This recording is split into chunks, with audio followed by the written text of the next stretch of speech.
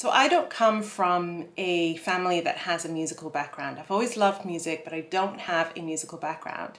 But when the pandemic hit last year, one of the things that I did as a mother to try and entertain my kids and just for my own um, sense of mental health and well-being, one of the things that I did was actually enroll me and my two kids in weekly guitar lessons. It was amazing. I had never done it before and while it's something that I no longer do anymore, it's something that my kids are still very much into and they love their lessons and they love playing the electric guitar. So why am I sharing all of this? Well, our new book club selection is here for the Good Ancestor Book Club and it's about music. It's a book called the final revival of Opal and Nev, and it's by Dawnie Walton.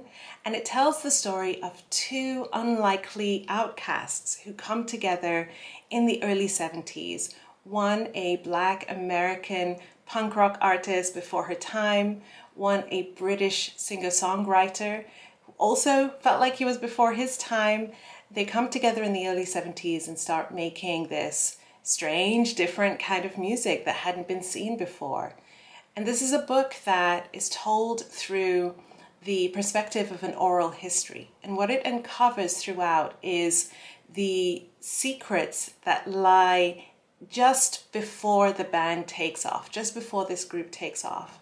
And it's told through the perspective of someone who is who has a connection with Opal, who's the black woman character in the novel. It's a book that I really, really loved.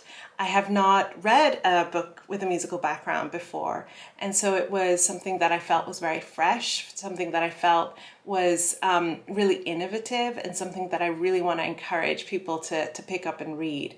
Some of the themes in it have stuck with me for a really long time. There's some really interesting twists and moments that make you pause and want to reread it again.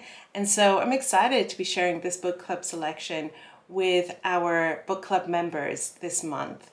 If you'd like to join us in reading the final revival of Opal and Nev, I would love to have you join us. You can find more information at goodancestorbookclub.com. Throughout the month of May, we will be discussing the themes, the characters, the aha moments, the twists and turns of the book. And then at the end of May, we will be in live conversation with Dawnie Walton herself, the author of this book.